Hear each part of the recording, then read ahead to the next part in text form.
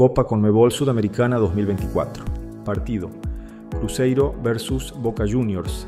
En el minuto 1, en una disputa por el balón, un jugador del equipo amarillo hace una entrada por detrás con sus tapones a un jugador de azul y blanco donde el contacto es pleno, en una zona desprotegida y utilizando una fuerza suficiente para poner en peligro la integridad física del adversario.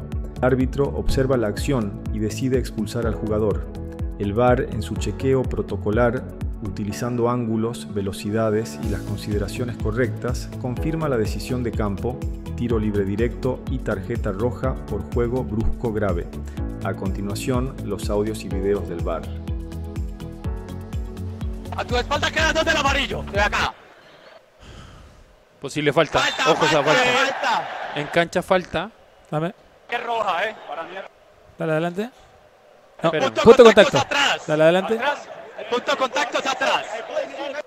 Da- Dame una, una baja, puede ser Programa. la orbital. La orbital, la orbital es la mejor. Dale adelante. Perfecto.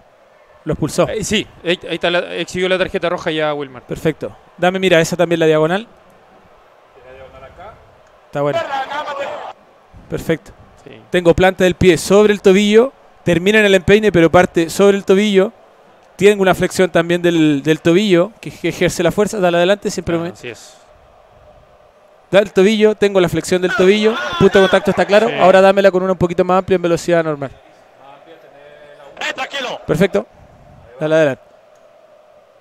Perfecto. Claramente, dame primero el cuadro a cuadro para mostrar el punto de contacto. Uno más, uno más, uno más. Aquí tengo el punto de contacto que es sobre el tobillo. Sobre el tobillo. Dale con la inversa igual. Dale, adelante. Arriba el tobillo. Perfecto. Arriba juega el, ba- el balón el jugador azul. Llega tarde el jugador amarillo. Lo pisa sobre el tobillo. Dame esa Sí. también, mira.